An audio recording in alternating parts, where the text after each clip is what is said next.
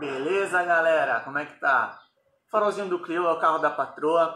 Ela vê a gente fazendo os trabalhos aí com projetor, com Angel, Demon, barra, seta sequencial e tudo mais. Esse farol já tem um vídeo, eu já fiz uma máscara nele, fiz uma personalização, troquei a lente. Só que ela pediu se não dava para fazer mais alguma coisa para deixar ele mais legal. Então a ideia é colocar duplo Angel nos dois, alto e baixo. E aí eu estou pensando em colocar uma barrinha de LED por baixo ou uma barrinha de LED na parte superior. E aí a gente vai ver como vai ficar. Vou desmontar primeiro para pegar as medidas dos dois aros. E aí a gente vai efetuar a compra, vai esperar o material chegar e a gente dá prosseguimento. Lógico que para vocês aqui vai ser seguido direto. Beleza?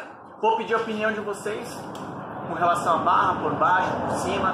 Né? Essa primeira etapa do vídeo eu vou postar nas redes sociais para ver o retorno de vocês, o que, que vocês me, me dão de ideia para a gente montar esse projeto junto. A ideia é, do Clio é tentar mostrar detalhado esse farol aqui, tá bom?